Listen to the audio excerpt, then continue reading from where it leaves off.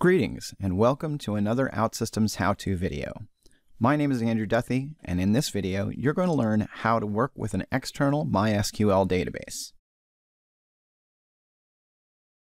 As a quick note, there's a related course in our learning section entitled Integrating with External Databases. If you want to know more about this course or get a deeper understanding of this topic, please visit the URL below. In this video, you'll learn the following. How to add a connection to your external MySQL database using our Service Center Management Console. How to import and adjust your tables, including data types, names, etc., using Integration Studio. How to use Integration Studio to publish your database extension to your OutSystems environment.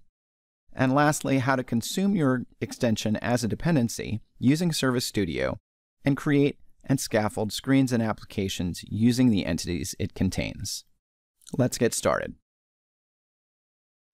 We'll start the process of working with an external database in Service Center, our management console for the specific environment that I'm working in. I've opened Service Center, I'll click the administration link, and then click Database Connections. You'll see I already have an existing connection, but I want to create a new database connection. So I'll cl click Create Database Connection, I'll give this a name. Test MySQL. And I can provide a description if I want. To connect to MySQL, I'll select in the drop-down list MySQL. And then I need to provide the data on the connection itself. So I'll plug in the server name, the schema name, and the username and password.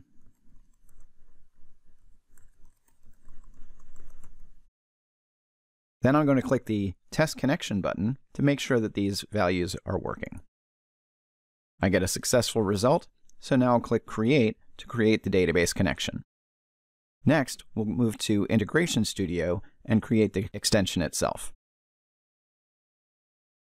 I'm now in Integration Studio, and I've logged into the OutSystems environment where I want to publish my extension. I'll go ahead and click File, New, to create a new extension. And I'm going to name it external MySQL. To add tables from my external database, I'll simply right-click the Entities folder, select Connect to External Table or View, and that will start a simple wizard that will allow me to import the tables that I want from my external database. When I click Next, I can see I have the Test MySQL database connection available. So I'll select that and click Next. Now I can see the available databases. I want the employees database. I'll click Next here again. And I can see that I have a number of tables that are available here. And I can take, for example, the employees table and go ahead and add that to my tables that I want to use. And I could add, say, departments as well. I can double click I can also grab the dept emp, which is a mapping table between these two, and I'll go ahead and click next. And the logical database is the name of the uh, database in Service Center. And then the final step shows me the entities that are going to be created. I can look at a report or I can just simply click Finish. Now you can see that I've added the entities to my entities folder. If I double click one of these, you can now see the mappings from the original name and original data types in the external database to the corresponding OutSystems data types in, that, that will appear inside of OutSystems. So I could do things like uh, maybe I want uppercase names, so I can change the name of the entity on the OutSystems side to be employees with an uppercase name. I could change things like the empno to employee number, um, etc. I can change the data types.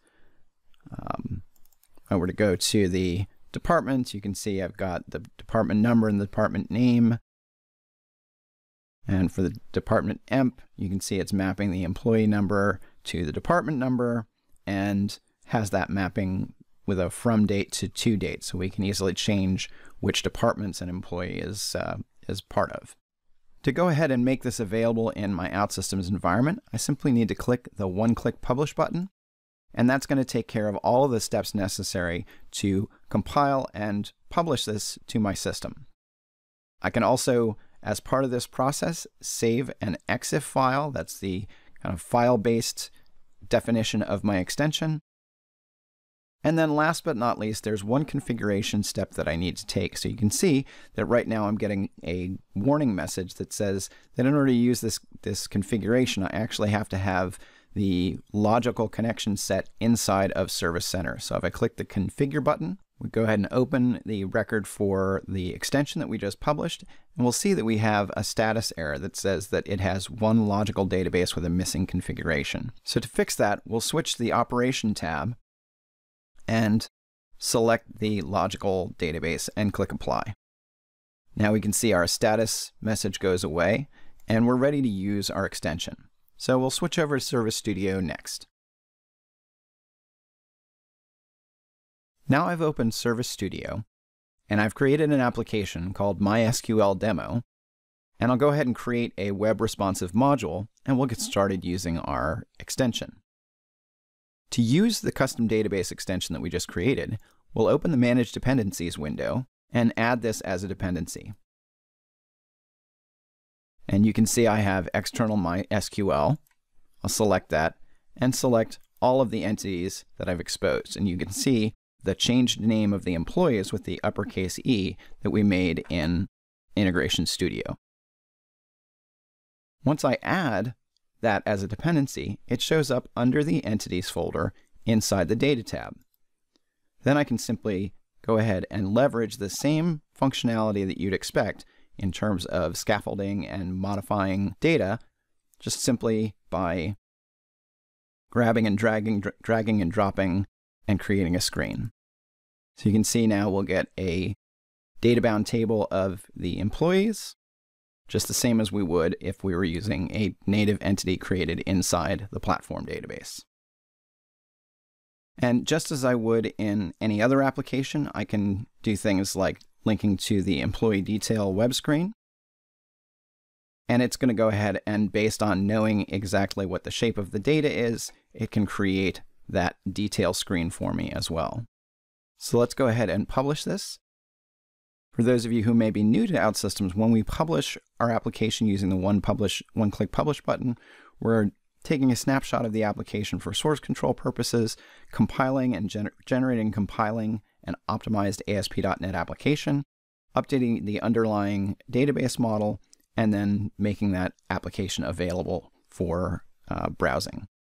Next, we'll click the Open in Browser button and see how this looks. And now we can see that we've got the employee information. We can search for something like math. And we can see that we get uh, we have a lot of employees apparently with the last name Matheson. And we can reset. We can do all the things that we'd expect to be able to do. Paging and sorting, all of that works. Um, I can also click into the record for a given employee and I can change the first name there. And if I search for that first name, you can see the changed record is indeed there. So you can see without a lot of effort, we were able to work with an external MySQL database. We were able to bring the data from that database into an OutSystems application, modify the data, and treat it essentially the same as we would any other entity inside of an OutSystems application. So to summarize, what you just saw is how we add a database connection to your external MySQL database using Service Center. You saw how we imported and adjusted tables using Integration Studio. You saw how we can publish our database extension to our environment, again using Integration Studio. And you saw how you can use Service Center to consume your new extension as a dependency and create and scaffold screens and applications using the entities it contains. If you like this video, I'd encourage you to subscribe to our OutSystems YouTube channel. Uh, you can find many more videos like this on our advocacy how-tos and tips playlist. And thanks for watching.